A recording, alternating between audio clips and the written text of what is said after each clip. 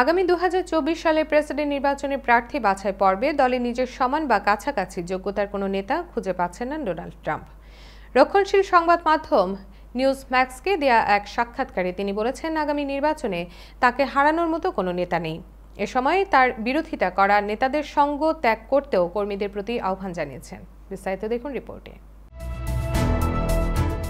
অহংকার আর দাম্ভিকতা যেন মূল অস্ত্র সাবেক প্রেসিডেন্ট ডোনাল্ড ট্রাম্পের। মাত্র কদিন আগে ক্ষমতা হারিয়েই আগামী নির্বাচন নিয়ে উঠে পড়ে লেগেছেন তিনি আর এই যাত্রায় দলে যে তিনি ছাড়া আর কোনো যোগ্য নেতা নেই তা বারবার বোঝানোর চেষ্টা করছেন নিজের পছন্দের নিউজ ম্যাক্সকে দেয়া সাক্ষাৎকারে ট্রাম্প বলেছেন তিনি ধারণাই করতে পারছেন না দু হাজার চব্বিশ সালের প্রেসিডেন্ট নির্বাচনে দলের বাছাই পর্বে তাকে কেউ হারাতে পারবেন I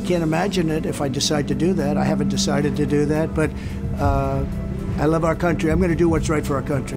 Trump বলেন, নিজের কর্মদক্ষতা বিবেচনা করলে তিনি ছাড়া অন্য কেউ আগামী নির্বাচনে জয়ী হতে পারবেন বলে তিনি মনে করেন না রিপাবলিকান পার্টির জন্য ভালো কাজ করেছেন বলে দাবি করেন ট্রাম্প তিনি বলেন, ইতিহাসে সবচেয়ে সমৃদ্ধ অর্থনীতি ছিল তার সময়ে দেশের ভিত্তি এমনই মজবুত হয়েছে যে অন্য কোনো দেশ এমন করার চিন্তাও করতে পারবে না I do. I've done a good job for this party. We had the greatest.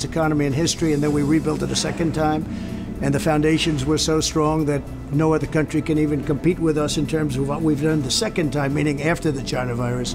এর আগে আঠাশ ফেব্রুয়ারি অরল্যান্ডোতে রক্ষণশীলদের সমাবেশে বক্তৃতা দেন ট্রাম্প।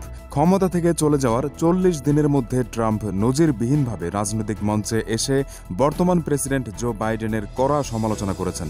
ট্রাম্প শুধু ডেমোক্রেট প্রেসিডেন্টকে সমালোচনা করে ক্ষান্ত হননি তিনি রিপাবলিকান পার্টিতে তার বিরোধিতা করেছেন এমন লোকজনের সঙ্গ ত্যাগ করার জন্য দলীয় সমর্থকদের প্রতি আহ্বান জানিয়েছেন। They stick together, they're smart, they're vicious, they got everything going, but their policies are no good. So, hence, we have, congratulations, the Republican Party. Republican পার্টিতে প্রকাশ্যে ট্রাম্পের বিরোধিতা করার সাহস খুব কম নেতারই আছে কারণ প্রভাব বিস্তারের জন্য নিজের লোককে হেনস্থা করতেও দ্বিধা করেন না ট্রাম্প এরপরেও দলের মধ্যপন্থী লোকজন ট্রাম্পের খপ্পর থেকে বেরিয়ে আসার জন্য উন্মুখ প্রতিনিধি পরিষদে ট্রাম্পের অভিশংসন প্রস্তাবের সময় দশজন রিপাবলিকান আইন প্রণেতা তার বিপক্ষে ভোট দেন। আর সিনেটে অভিশংসন আদালতে সাতজন রিপাবলিকান সিনেটর ট্রাম্পের দণ্ডের পক্ষে ভোট দেন। তবে প্রতিনিধি পরিষদ এবং সিনেটে এই ভোট প্রকাশ্য না হলে ট্রাম্পের বিপক্ষে আরও বেশি ভোট পড়ত বলে মনে করা হয়। ট্রাম্প নিজেও সে কথা জানেন। এই কারণেই ক্ষমতা থেকে বিদায় নেওয়ার সময় থেকে তিনি নিজ দলের লোকজনের উপর চড়াও হয়ে আছেন.